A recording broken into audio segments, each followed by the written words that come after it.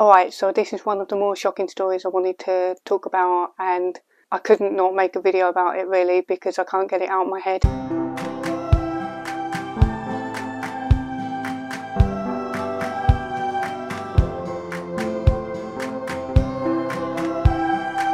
I got this story from Rip Nutmeg on Twitter. In one of the most shocking stories you could read, a London hospital has cancelled a woman's life-saving operation at the last minute because it doesn't share her values. That value she had was that she wanted the aftercare nurses to be female. Former solicitor Teresa needs urgent, rare and highly complex colorectal surgery. She selected the private Princess Grace Hospital which specialises in women's healthcare, specifically because she didn't want to be in a mixed-sex facility. A victim of assault Teresa made it clear to the hospital how important this issue was to her by both requesting a single-sex room and bathroom and stating she would only answer questions on form about her sex, not her gender identity. During a pre-operation intimate procedure, a male member of staff wearing a blonde wig and bright lipstick opened the door uninvited and peered in. He made eye contact with her before leaving. Teresa wondered if she had been targeted due to her requests. Feeling frightened and vulnerable, Teresa reported the incident as a patient dignity breach and issued a request that her nursing care from now on must be from females only and not men who ID as women, something that is allowed under the Equality Act. There is a letter here that she wrote to the hospital. I'll just highlight some of the bits that I thought were significant. Obviously, there will be a link below so that you can read it all and investigate for yourself.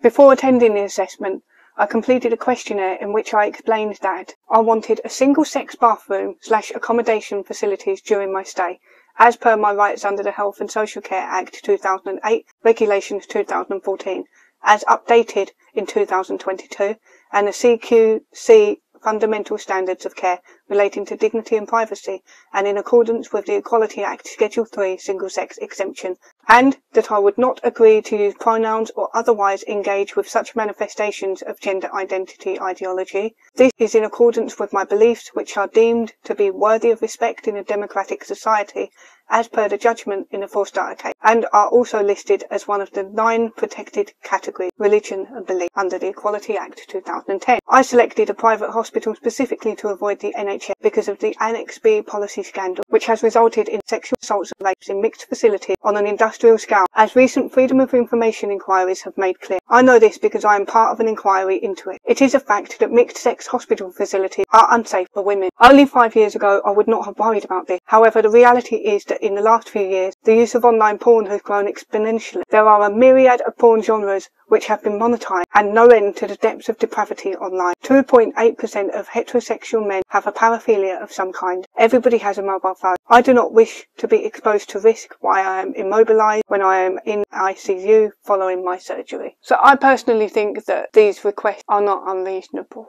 Towards the end of my assessment, somebody knocked at and simultaneously opened the door without waiting to be invited to enter. The door opened into a corridor. A young male in what appeared to be a blonde wig wearing full evening makeup, including bright scarlet lipstick, peered in at me. I am not sure what his role was or what he was doing there. He made direct eye contact with me, which in itself was quite brazen and so disconcerting, then said something to the nurse and went away. I was horrified and shocked that any male member of staff would feel entitled to breach the privacy of a woman patient in such a way in these circumstances. It was especially egregious that this happened in light of the advance notice I had given to the hospital. So she'd already given a notice to the hospital in advance, just explaining the situation that she is a survivor of assault and has reservations about men being around her at a time when she's going to be so vulnerable and immobilized by this surgery. None of this augurs well for women who are vulnerable following major surgery. Accordingly, I have to make the following request. While I naturally accept that Professor's surgical team is mixed sex,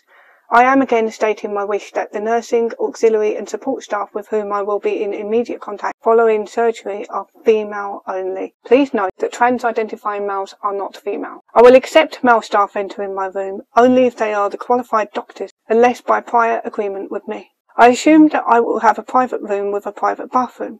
I insist the above incident is registered as a patient dignity lapse on the hospital incident recording system. She then had to go home for three days to prepare for the operation, in which pre-op medication was to be couriered to her. Nothing arrived.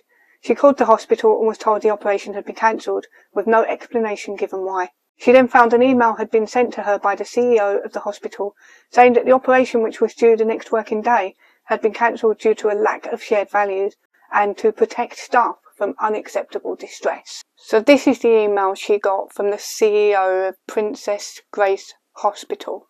Thank you for your email dated 6th of October 2022. We have reviewed the content of your email.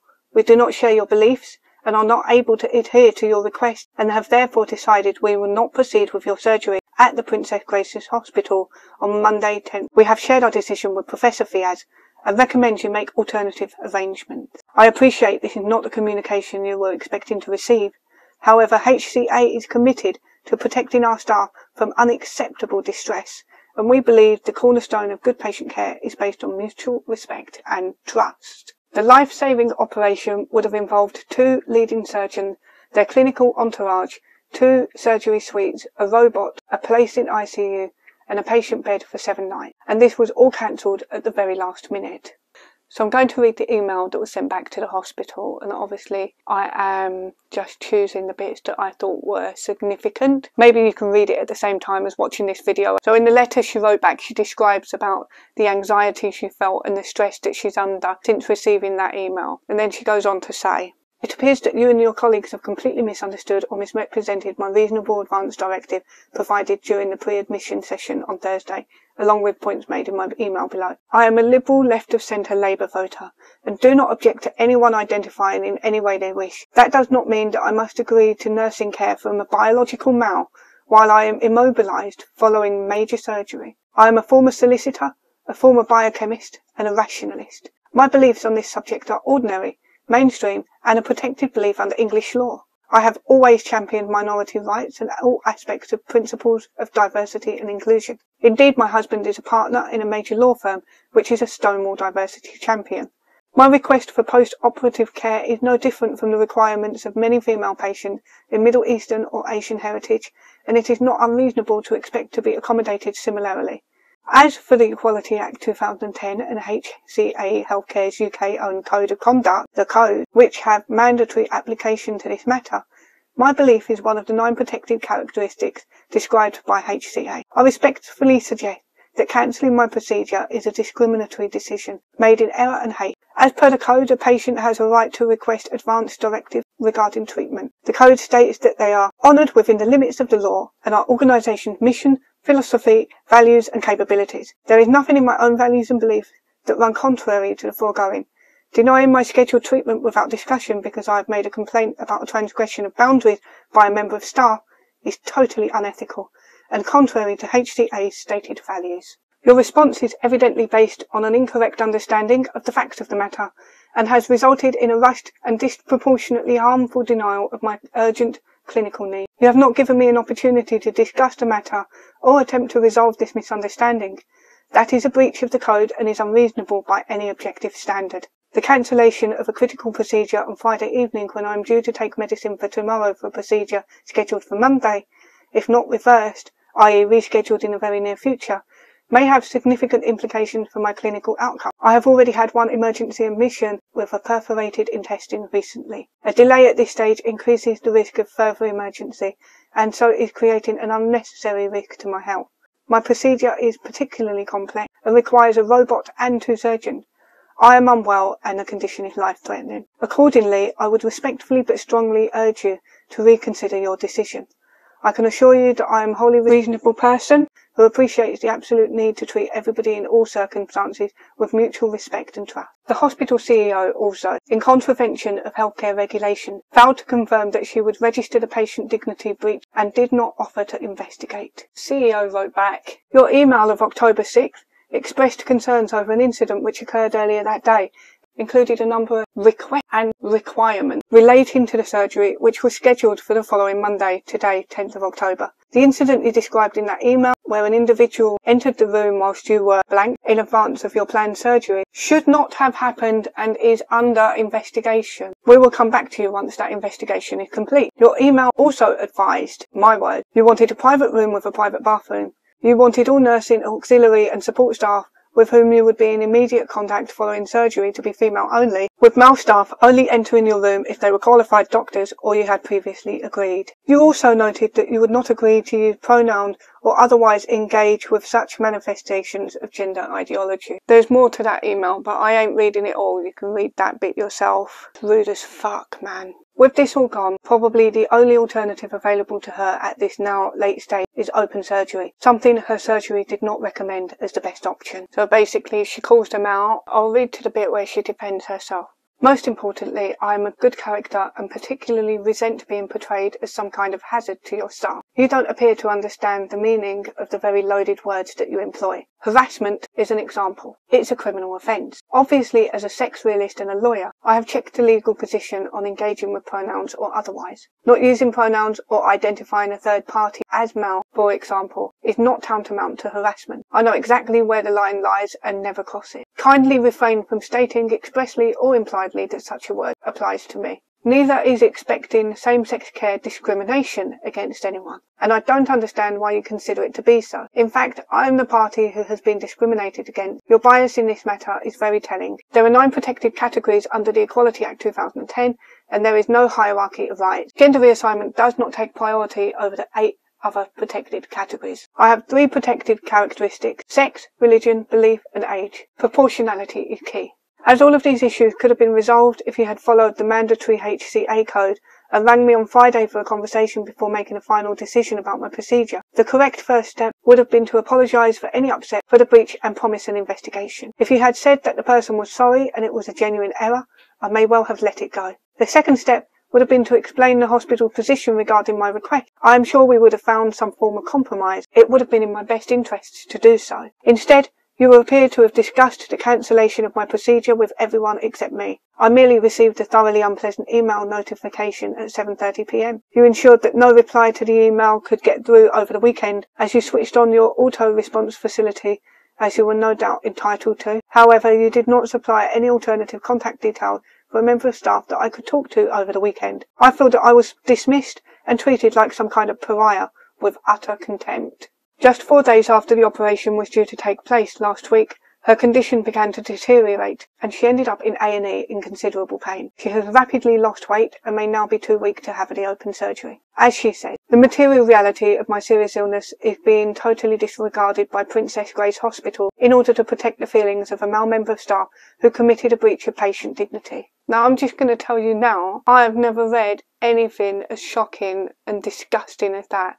It truly, honestly has disturbed me. I am genuinely disturbed that here we have a situation where a hospital is essentially saying they're willing to let a patient die because the patient doesn't have the correct beliefs or the correct thoughts or the correct views, that it doesn't align with their values. There would be bad enough if they were just incompetent and forgot to tell her that they've cancelled the appointment, right? Or just couldn't be bothered. But you'd expect a private hospital that I imagine she's paying quite a lot of money for to be on top of this admin shit. It's pretty disgusting that they cancelled her behind her back, left her waiting for this operation and the pre-op medication, didn't bother to even email her to have a conversation, didn't even phone her or email her or anything. By the looks of it, they could have emailed her, given her a call, and had a chat about what her reservations were and what her requirements were. And she even said in her email that she would have come to some sort of arrangement with them, some sort of negotiation,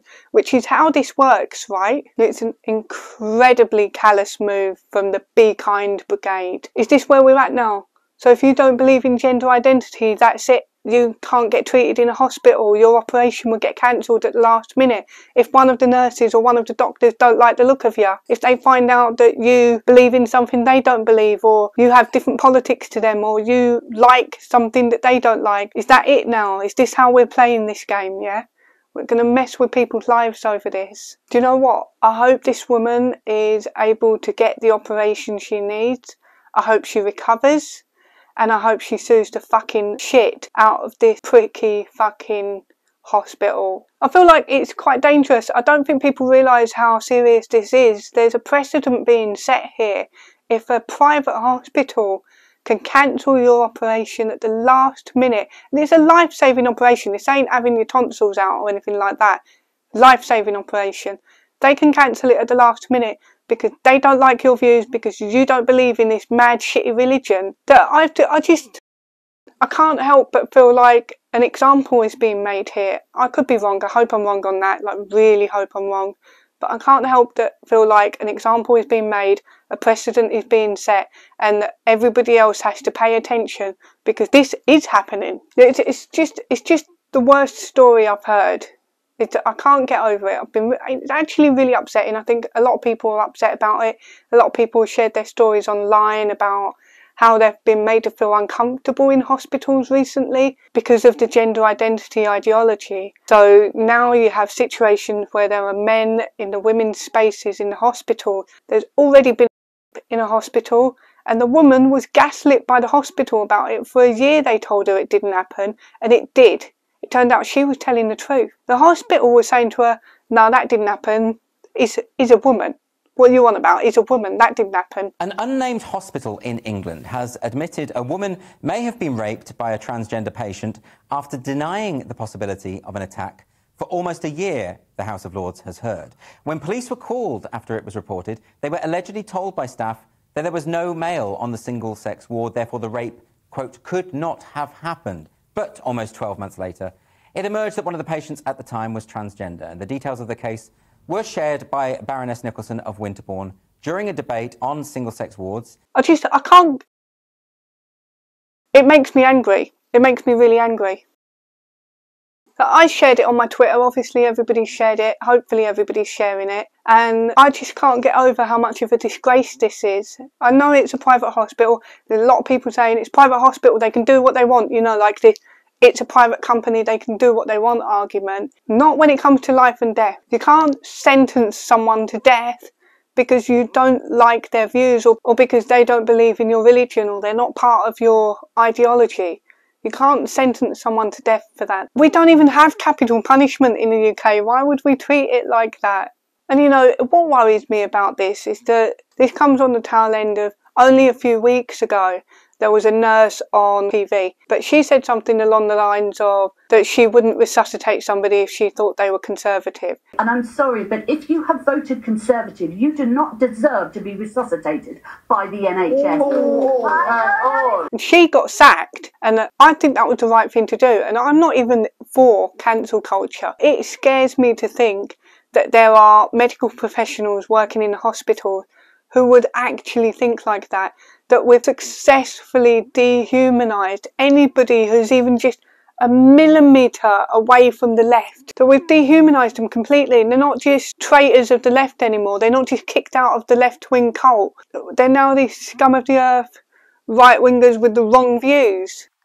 They're not human anymore, are they? They're heretics and we have to get rid of them apparently. And there's another story I got sent, and this one seems a little bit more anecdotal, but it was published in a newspaper about a man in the UK who went to the hospital with a suspected heart attack. He'd already had a heart attack the year before, so it was serious shit. And he was wearing a Trump hat and the nurses shunned him. She told the other nurses not to talk to him. He got interrogated about his Trump hat. In the article, he expressed that this really stressed him out. It caused a lot of upset, a lot of anxiety. He had to stay in the hospital for several days where these nurses were pissed off with him and giving him attitude and shunning him. And I just don't understand it. First of all, Donald Trump ain't even the president of America anymore. And second, we don't live in America. So what does it fucking matter? So all this shit really drives me mad because I don't think people are understanding what this means. I think people just don't give a shit. They're treating it like getting kicked off Twitter. They're treating it like, oh, well, it's a private company, they can do what they want. They're not realising that this is a precedent that's being set that could happen to anybody. These nurses, these doctors, these hospitals, these companies, the you know, Spotify, Twitter, schools, hospitals, police. They're not the judge, jury, and executioner. They don't get to decide this stuff. Nobody put them in charge. And you know, I'm I'm upset as well because I shared it on Twitter, and the obviously the fucking trans rights activists came out of the woodworks for this one, and they went all out on being wankers. I, I just couldn't believe it. They were saying things like, "Well, she made unreasonable demands, and the the hospital told her to fuck off. Good. First of all, she wasn't being unreasonable. She's a assault survivor. She doesn't want her intimate care done by men. On top of that though, she did compromise. She did say if they had a discussion with her about it, there's a compromise to be had, there's a negotiation to be had. She was willing to let male doctors care for her that were qualified or pre-approved. And that's completely reasonable. I wouldn't want a doctor that I don't feel comfortable around sorting me out. And I think it's absolutely disgusting that this private hospital that she probably paid a lot of money for couldn't even give her a buzz and had a word about the fact that they cannot guarantee some of the things that she's requested from them. Surely they could have come to some sort of agreement rather than cancelling it behind her back and not even fucking telling her. And then they tell her they don't want any of their staff dealing with unacceptable distress, as if your life being in the balance and your surgery being cancelled at the last minute isn't a form of unacceptable distress. Do you know what as well? Do you know what pisses me off and boils my blood? You've got convicted pedophiles in prison that are able to get cosmetic surgery, have their pin turned inside out to make a fake V. Yeah, they get their cosmetic surgery on the NHS thanks to the taxpayer, right? And they're convicted pedophiles. Some of them are murderers and rapists and all sorts, nonces, horrible criminals, worst people you can think of, and they get surgery on the NHS, then they go and, you know, everyone in the women's prisons. My point is, they get treated with dignity, they get treated with care, they get looked after in the hospital. Nobody's judging them, nobody's saying, look, we can't give you this surgery because your values don't align with ours. You know, how is this woman who doesn't believe that men are women beyond the pale? She doesn't want to use pronouns. Is that really worse than being a nonce? And what hospital has values that aligns with being a nonce or a murderer? None. I'd imagine none. So why are we all of a sudden seeing this hospital say that your views don't align with our values? So, you know, tough shit. Some of the trans rights activists were commenting saying, well, trans people have it worse, they're dying all the time because hospitals won't give them the surgeries they need. First of all, having your peen turned inside out is not life saving. Let's let's just clear that up. That's not life saving. Nobody has ever died from not getting unnecessary cosmetic surgery. The worst one was India Willoughby. Three cheers for the Princess Grace Hospital who treated me before I did Big Brother, lovely star, told her where to go, which was somewhere else. Well done, Princess Grace Hospital. Arsehole. I mean, look, this woman's condition got worse four days after her operation was cancelled at the last minute, not really giving her any time. Who the fuck gloats over that? These people, these trans rights activists, are really showing their true colours right now. I've never encountered such a bunch of mental, heartless psychopaths before. This is absolutely out of control. It's not against the law to not believe in any religion, let alone gender ideology. It's not against the law to refuse to pretend that someone is something they are not. It's not against the law to refuse to use preferred pronouns which you wouldn't even use in the presence of somebody anyway because you're talking about them in the third fucking person. This form of control is insidious. Let's get to Billy fucking Bragg then. So Billy Bragg's been mouthing off all week about cancel culture is not really a thing. Um, it should be called accountability culture. So he's talking about consequences as well because he thinks there should be consequences.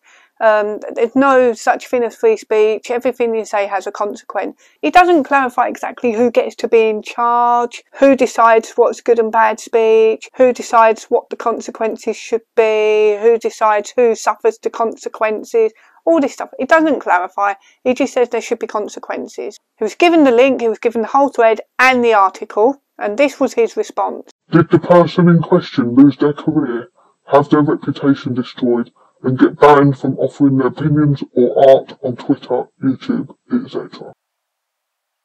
I just, I don't fucking understand this guy. I couldn't think of anything more disgusting than saying, Well, you know what, she had a life-saving operation cancelled, but is she kicked off Twitter? No. Don't worry about it. It's just accountability, held accountable. Hannah Kay wrote back, a survivor had a necessary operation cancelled because she requested female only care, as she is entitled to in law. I was asking if you think that is acceptable. Personally, I think it's dystopian and much worse, albeit perhaps a natural progression of the things you've mentioned. To which Billy Bragg responded, I think it's a case of clashing values.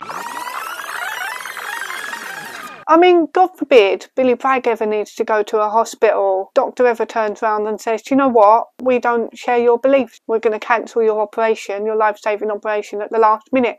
How devastated would he be? He'd be absolutely heartbroken. How can you be this callous and cruel?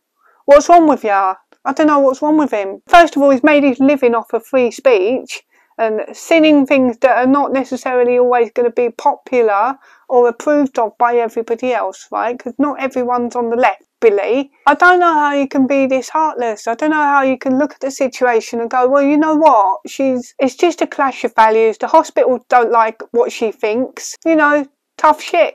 He's made a living being this guy who stands up for the little people, who sticks up for what's right, wants fairness for people. You know, when the push comes to shove, when it comes to real issues and real, really difficult things, he goes, oh no, fuck it. Fuck 'em. I just can't stand it. I can't stand this sort of heartlessness. It really upsets me. How do you make your career for your life for like 40 years going around being a good guy and this is the shit you come out with? It's disgusting. I just want people to think about what the wider implications of this are, you know.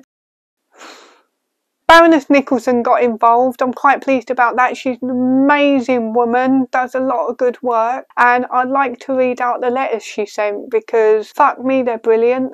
To the CEO of Princess Grace Hospital, Maxine S. Green. Along with thousands of others, I was astonished to read your recent email withdrawing provision of service to a patient because you do not share their beliefs. I have scoured the Princess Grace Hospital website in search of a list of acceptable beliefs, acceptable to you that is, without success. That will make it difficult for me and everyone else to decide whether the Princess Grace Hospital is worthy of consideration should we ever need medical help. And that's a really good point. I've made a point similar to that on Twitter before. I didn't imagine in my wildest dreams we'd be here with a hospital, but you know, when it comes to gender identity, if you're fining people, punishing people, or cancelling people over this, I don't think it's right. I don't think it's lawful because people who don't believe in gender ideology are not doing anything wrong. We're not breaking the law. It's not a crime and let Labour get in, and that's another story. So my thing about it was if you're a private organisation and you want to be a religious company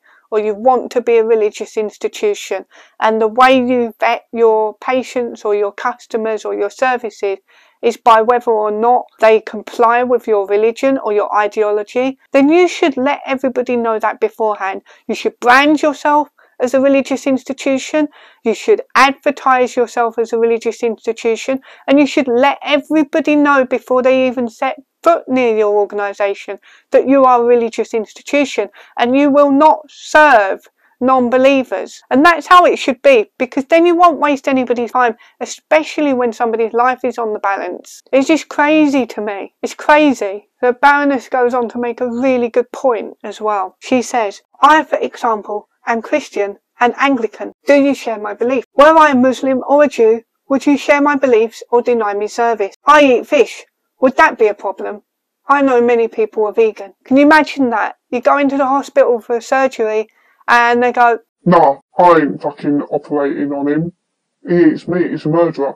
I'm vegan, I don't believe in that shit. Go somewhere else. Is that where we're at now? Like, Okay, yeah, sure. I will do a surgery on a convicted paedophile so that he can become his true self as a woman and be able to reside in women's prisons and get them pregnant. But no fucking way am I doing surgery on someone who eats meat. The Baroness continues, I believe in respecting the law, including the provisions and exemptions of the Equality Act 2010. I suspect that might be a problem for you, but would welcome your clarification. In fact, to make life easier, I would be grateful if you could provide exhaustive list of such belief as you do and do not hold, which might affect any decision on your part to withdraw urgent medical treatment at the last minute, because neither I nor anyone I know would appreciate being treated so disgracefully on the basis of your beliefs. I look forward to hearing from you at your earliest convenience. I mean, that's absolutely bang on. I couldn't have put it better. Baroness Nicholson, that's like such a beautiful way of word. I wish I was like that, but I'm just not that fucking elegant. But she's right. It worries me, you know, because we could end up in a situation where we're living in a parallel society. We could have woke and non-woke banks, gender ideology banks and non-gender ideology banks, schools for people who want to only learn about gender ideology and schools for people who don't want to learn about gender ideology, hospitals where you can get treated only if you believe in gender ideology and hospitals where you can get treated if you don't believe in gender ideology. It's a very unproductive way to live, it's a very divisive way to live, and I don't think this should be happening. I'm just editing this video and there's been an amazing update on Teresa's case. Another hospital which has a Da Vinci robot, that sounds fancy, has agreed to accommodate her while the Care Quality Commission still needs to investigate the actions of Princess Grace Hospital. This is incredible. I just hope now that she's able to have her operation and fully recover. This is what happens when everyone is made aware of what's going on and enough people speak up to oppose it. Cancel culture is not just being shunned by your mates or getting kicked off Twitter. This is real life stuff. I will not accept this bullshit as our new normal. I'm not having it.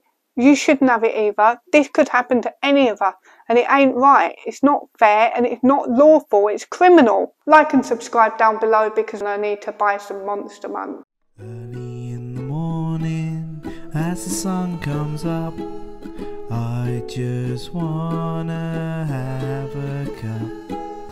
There's one drink, that's the one for me.